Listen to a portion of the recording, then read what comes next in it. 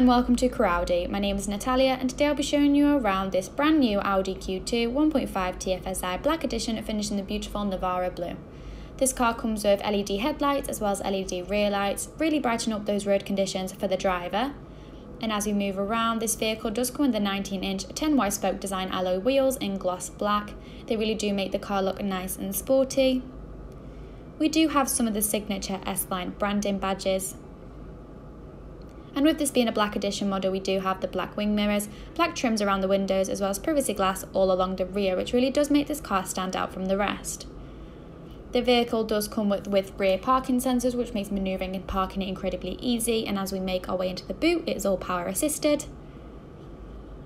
And as you can see, there is plenty of space for the weekly shop, a couple of small suitcases, even a pram. We do also have some space underneath. And if you do find yourself needing any more room, the back seats do fold down. To close the boot, we simply press a button, perfect for when you've got your hands full. Now this is a 5-door 5-seater Audi, meaning that there's space for 3 passengers in the back. All 3 seats do come with headrests. For a smaller car there is plenty of legroom in the back for the passengers, and two of the seats do also come with ISOFIX fittings which makes putting in and taking out car seats incredibly easy. As we make our way into the front of the vehicle, here we have the controls for the electric and heated wing mirrors, front and back windows, as well as the child locks on the back two doors. We do have a button to open up the boot from the inside of the car, and here we can see the signature S-Line door sill trims. The front two seats do have the electric four-way lumbar support system in place, which makes finding the perfect driving position incredibly easy. They are also the sport seats, which are really comfortable, with the S-Line embossed logo in them. As we move around, we can see the flat bottom with three-spoke leather multifunction steering wheel, as well as the Audi virtual cockpit. The button on the steering wheel allow you to navigate around the screen in front of you. You are able to change the view of the screen depending on your preference. You can access things such as your sat nav, your phone if it's connected, your radio stations, as well as other driver information and settings. The on the right here allow you to answer and decline calls, use the voice control system, as well as turn up and turn down the volume.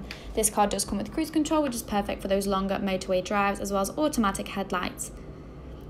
And as we move around, we do have the multimedia interface display, which allows you to access things such as your drive select, your media devices, your radio stations,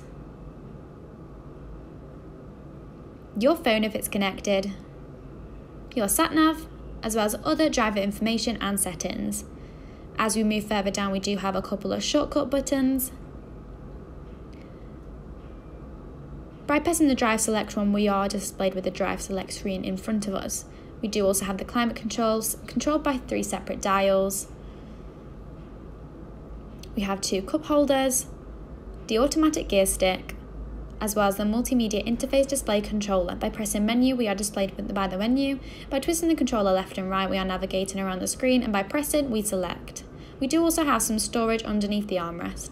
And if you would like to find out any more information about this gorgeous Q2, please do not hesitate to contact one of our sales advisors at Crewe Audi at 01270 864 091. Thank you for watching.